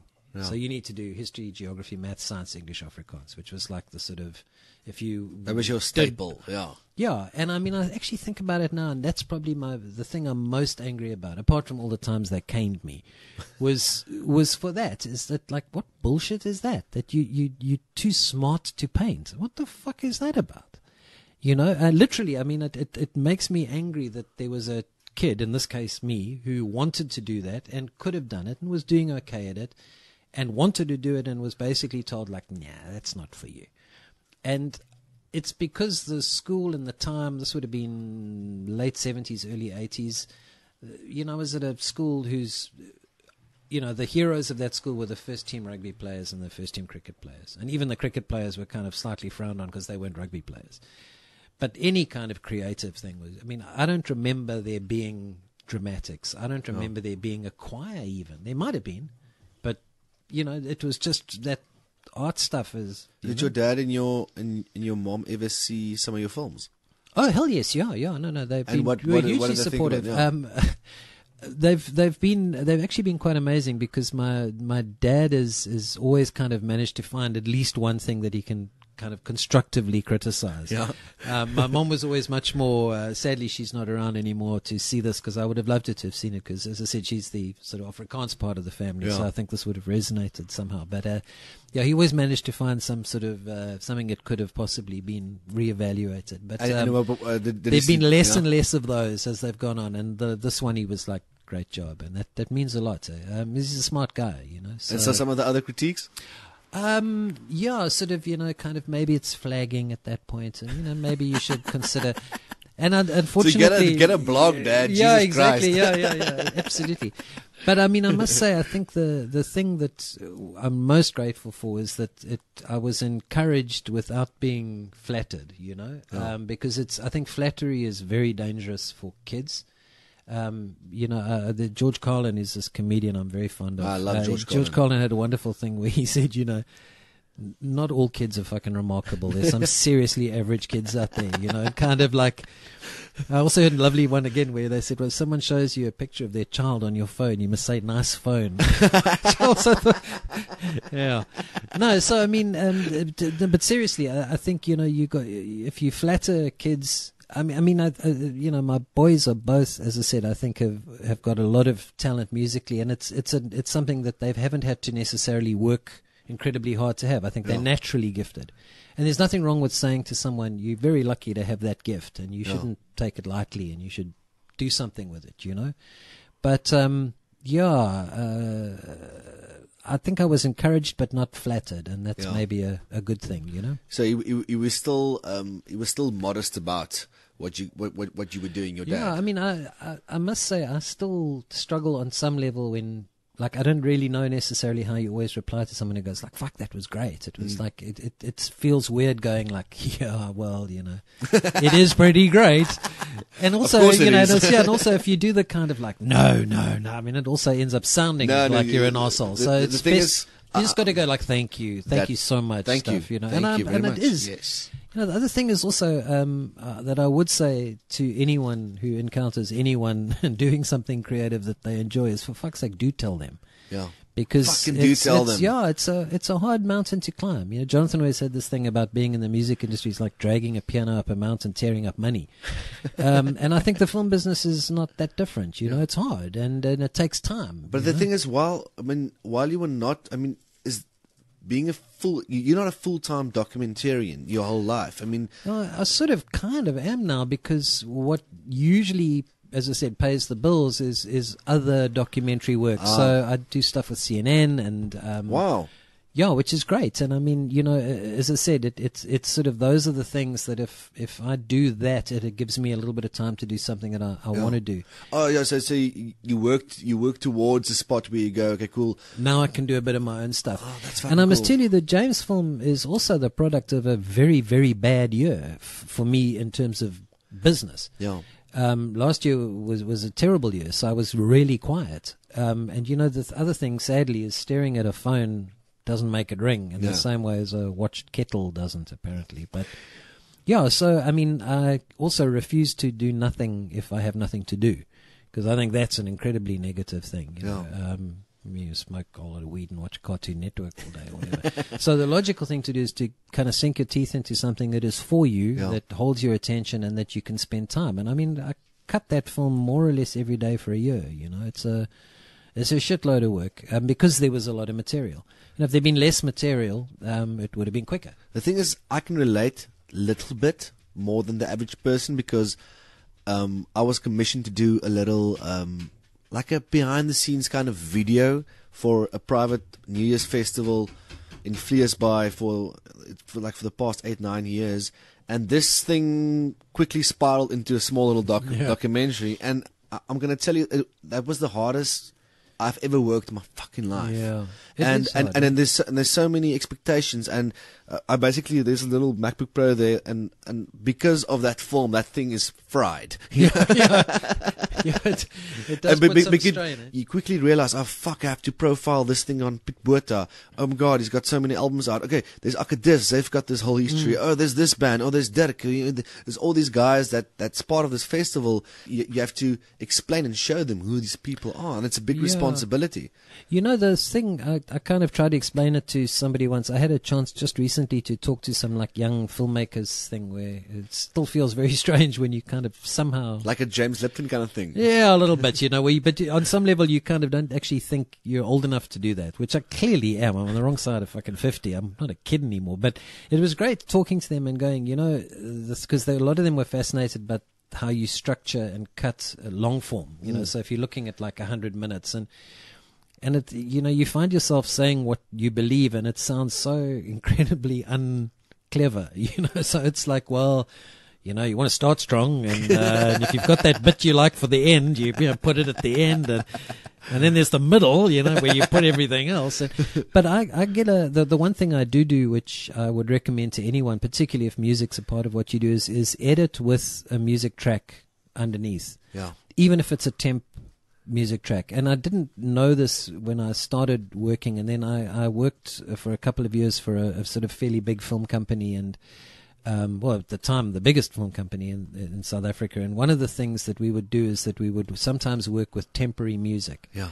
So you would basically edit a whole scene of a film going, I kind of want something like, let's say, Yeah. like Chariots of Fire. You, know, Yeah. you want like it, that sort of vibe, I Vangelis fucking kind of did thing. this today with a. I needed a voiceover because uh, the music gives a little beat to it. Yeah, and I mean, what it also does is it sometimes forces you into making decisions you might not make otherwise. So, for example, um, and it, again with the James film, it worked out really, really nicely. Where every now and then I would have a piece of music um, that lasts three and a half minutes, and within that piece of music, I want to be able to hear bits of it because they're lyrics that are important, but I also want to use certain voice elements from interviews and things to tell a particular part of the story if you don't have that music running underneath it, suddenly that piece can run five, six minutes. Yeah. But if you're suddenly setting this kind of limit to yourself, if I want to cover this in three and a half minutes, Yeah. The music kind of helps you do that. So it helps you make sometimes quite hard decisions about what to leave out. And and it also like I I think if you yeah, and I think also if you're working with music, it's kind of crazy not to let the music steer certain things, Yeah. you know, in a particular way. Um, yeah, I definitely think I think that's definitely helpful, been helpful for me at any rate, and and just and also to trust your own judgments on stuff. I mean, what's quite nice not having a client Yeah. is I didn't have to show this to anyone to get their sort of approval It's that your- it was your okay to yeah. release. It's like yeah, it's the director's cut. it's the only cut, but it's the director's cut. And I mean, there's something quite liberating about that as well, in a way, because you kind of sink or swim based on your own decisions. So you don't get to blame someone afterwards for, well, you know, I thought we should have done this, or I sort of thought we should have done that. Everything that's there, if it sucks or not, is a call I made, and I'm not sort of yeah, you know, I'm, I'm glad for that. Listen, um, one of the things that impressed me about the film was how you managed to do that depth of field effect with photographs because that's a quite a, that, that, that's like a new technique in docu- Yeah. documentaries. Well, I got to give all the credit to. Uh, funny enough, I always have to say the other Theo Kraus. There's a guy called Theo Kraus who's one of the three guys who shot the film. Funny enough, I used the same approach to get the film shot for free that I used for Ruchtengevolk. Yeah. So I, I made sure that no one of the three cameramen had to shoot too much. Yeah. So there was like Carl Raubenheimer shot the Cape Town stuff, Theo shot the Joburg stuff, and Barry Tomlin shot the stuff in Durban. So again, no one person was loaded with like the whole film Yeah, to shoot because nobody got paid on this thing. I mean, everybody did it for love and you know all that stuff. But um, yeah, it's it's interesting. Um, it's very much uh, a new kind of technique. It's something I wish I could personally do, but Theo did it for me on probably twenty or thirty images in the film. And again, if there'd been budget and time, I'd have got him to do the lot. It Um, it so really, good. yeah, and it, It really comes. life. Yeah, it absolutely does. Yeah. And and again, it's not dishonest. Uh, No. You know, it's not as if because I'm also a little bit mm, yeah about recreations and Yeah. things. Um, Yeah, but uh, what happens there? It, it just gives movement to a yeah, photograph. that's, and that's the only it's thing sort of, it does. and it also pulls you into things in a Mm. way that, that is slightly different. And it's funny, a, a lot of people don't even pick up on it. Well, they don't articulate it. yeah. So they probably are aware that they're kind of watching it in a way they might not watch Yeah. a slide. For me, who like three years ago realized what a harmony does in this song, and I'm a fucking musician, and I've been singing harmonies. I'm like, ah, there's that's a it, harmony, eh? and it, it sounds like one voice. Yeah, no, Other people because the the public won't pick up on Yeah. a harmony, But Uh, they feel it, eh? w- when when they hear uh, "Mamma Mia, Mamma Mia, Figaro Magnifico," they think it's four guys singing. Yeah. that's four guys singing on fucking twenty harmonies, Yeah. overdubbed on fucking sixty doubles. Yeah, You know, it's it's uh, they they think it's four guys singing. Yeah. that that's the beauty of of making music and making films that you can you can really bring something to life. Yeah, you know, I, I think what's also interesting for me is I've I've watched the film now with a lot of audiences. Mm. Um, I get to do it again tomorrow night. We've got a screening at the lobby, and what's really nice is this thing of how when you watch it with an audience, Mm. you get a sense of how they um, how they respond to things. yeah, um, and how certain things that you kind of weren't sure would work really work, or Yeah. in some cases it lands. straight over people's heads. Yeah. So the film is basically wall to wall music, with the exception of, of one place where all the music drops out. And again, without giving anything away, it's amazing how powerful that point is when there's no music. Yeah, the note you're not playing. Because yeah, exactly, yeah, exactly. Shit, we got deep suddenly there, dude. Well, Yeah, but it it is amazing and it's powerful. It it, it makes a genuine um, impact, and people don't necessarily go, "Hey, there's no music here. There's been music the whole time," but they feel something. yeah. Um, and yeah, it's it's really cool when that shit works because obviously that's a conscious decision. You've decided to do it that way. But it also kind of what do they say? You should. It's like uh, talking about film is like what dancing about architecture. you know, it's like you sort of. It's like yeah, shouldn't, shouldn't talk about it. Just let No, it we be, fucking you know. should talk about it, you know, because the pe- people should make more stories of these. Okay, now uh, to end off on, um, Yeah. y- you guys are taking this film to London. It's been to a few film festivals. Yeah, it's been to a couple of festivals. The big one I'm hoping for, and I'm probably going to curse it, but fortunately there's a wooden table I can touch. Yeah. Is I've sent it for South by Southwest, which is the the big you know music festival in the in the states, and it's kind of it's potentially interesting from a point of view of that it's um it's people who have no attachment to him per se. So Yeah. if it can work there.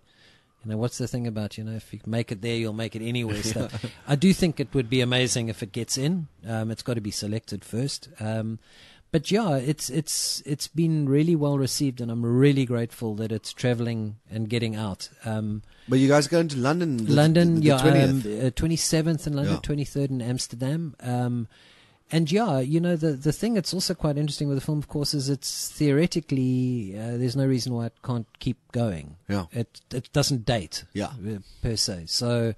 You know, I think that's a cool thing. Is that quite often if you make a film about sort of someone at a particular point in their career, um, funny enough, I enjoy sports documentaries. Yeah. I watch quite a lot of sports documentaries. There's some amazing. My favorite one is the the Senna one. The Oh, yeah, Ayrton well, Senna one.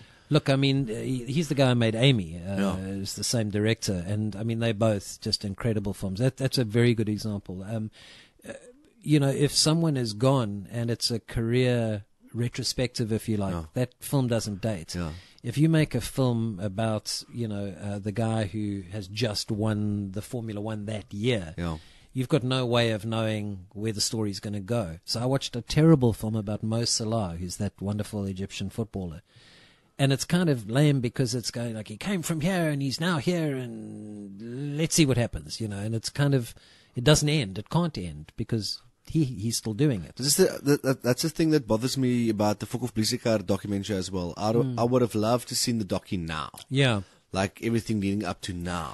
Well, also because again, there's, there's that wonderful thing of there's so much material. Yeah, So I mean, you, th- there's no excuse to not make a great film when you can talk to the people involved, where they can look back on something, and where you've got all this Yeah. footage. That's the Bellville Rock City one. Eh? yeah. No, no, no. That's uh, the uh, Oh, the, yeah, them. yeah, yeah, yeah, yeah, yeah. the- So what not was what the they one, do. There was the one that came out as a DVD with. There was a thing called Bellville Rock City, wasn't there? I think so. I think that was like a compilation Yeah. or something. But Yeah. but the thing is, with uh, using that as an example, is uh, that story continued. Yes. You know, yeah. there's a lot of other stuff that happened after that. You know, so Yes. that that feels like a it's like making the Justin Bieber documentary when he's 19. yeah, yeah, You know, no, I, absolutely. I, w- I would like to see the the docu when he's 45. Yeah. you know? no, exactly. And I mean, um, look, I mean, I think the thing is, is also if you are looking back at somebody's career or their body of work, Mm. you also have a responsibility to treat it with respect. Yes. If somebody hires me to make a 10 minute thing for YouTube about their new album, it's a very, very, very different Yeah. uh, responsibility to so and so is gone, and this is to look back on their entire career and try and package it in 90 minutes. Yeah. So yeah, there's a there's a responsibility with this kind of stuff too, I think, and I genuinely don't take it lightly. I mean, everything is a product of the time and the resources and all that stuff, but the intention is incredibly pure. it's to try and really shine a light on their talent, let their music speak for them for, for itself, and um, and try and get a sense of who a person is, and also you know. Um, to make people feel something. Uh, with the Rats film, I think it's funny as hell. I mean, I It's an awesome film. I, I love the fact that it is so funny. Um, the James film is very funny in places, but it's it's heavy because Yeah. he's gone, and it is a tragedy. It's a tragedy when someone that talented is taken early, and that applies to everyone from Senna to Van Gogh. You Yeah. know, Yeah. But listen, um, Michael. first time they've ever been in a sentence together. I think. Thanks for not laughing out loud at that one. eh? No, I was thinking, I was like, fucking Van Gogh, Senna. yeah, absolutely. But but thank you for doing this important work because man, it's uh, it's absolute it- pleasure, it- it's it's guys like you that uh, we need more of. Thank you you, know, bud. people should go and see this film, and, and thank you for coming in and for and for telling me your process in the story. The process. yeah, the Oh process. God. what is your process? yeah, yeah, yeah. Yeah, fantastic. Hey, with a bit of luck, it'll be on TV soon. So let's hold thumbs. Eh? yeah, I'll fucking all thumbs. yeah, yeah. And for South by You know anyone at kykNET? Eh? I know. Yeah. Yeah, yeah. Fuck, Put, put in a good word. Eh? Yeah. Put in a good word. Fuck. I should I shouldn't have said that. Make some thing the other calls. eh? they need never hear that. Dude, thank you so much. Eh? Yeah, and and um, dude, yeah. Without blowing smoke up your ass, I mean, thank God you're doing what you're doing. I mean, Yeah, man, I, I was it. I was away, but I'm back now. Yeah, no, no, we can see. But seriously, I mean, um, it's it's important, and that's the thing as well. Is it is important. Yeah, it's it important. Might be fun, but Yeah, it's important. It's fucking fun, and you don't always get paid, but it's but it's important. yeah, it matters. Eh? I, matters. I, I hope that one of these interviews that I do would one day end up on one of your documentaries. hey, I'm gonna end the, the I'm gonna end the interview on that one. fantastic! it's a deal. Thank you, Michael. Shot, bro.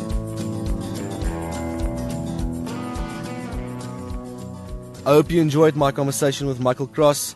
If you are living in Amsterdam, you can go and see the film at the Zuid-Afrika Huis on Tuesday, the 23rd of October at half past seven. You can book at even M10 at zuidafrikahuis.nl. That is E V E N E M E N T E N at Zuid-Afrika Huis. Z U I D A F R I K A H U I S dot N L. Yes, so daai readout was weird.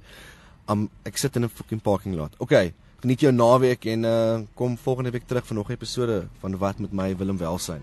Dankie dat jy luister. Uh gaan koop my nuwe album Blitzkrieg op iTunes. precies voor mij niet